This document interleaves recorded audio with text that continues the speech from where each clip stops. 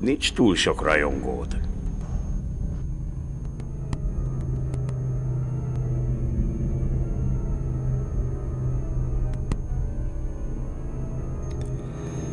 Csak annyi a dolgunk, hogy elkapunk két smasszert, kést szegezünk a torkuknak, elveszük a kulcsaikat, felcipeljük őket a mosogatókonyhába, és rájuk zárjuk az ajtót. Aztán gyufaszálakat tömünk a kulcsukakba, hogy elkülönítsük a kapukat a részlektől. Aztán megszólaltatjuk a riasztót. Felhívjuk telefonon Beasley foglárparancsnokot, és megmondjuk neki, hogy két bunkot túlszul ejtettünk, és az egész szigorított részleget elfoglaltuk. Fogjuk a kulcsokat, és végigjárjuk az egész kibaszott kócerágy celláról cellára, és éjcsákán baszok az összes mocsok gerincébe, amitől a nagy részük helyben nyomorék lesz.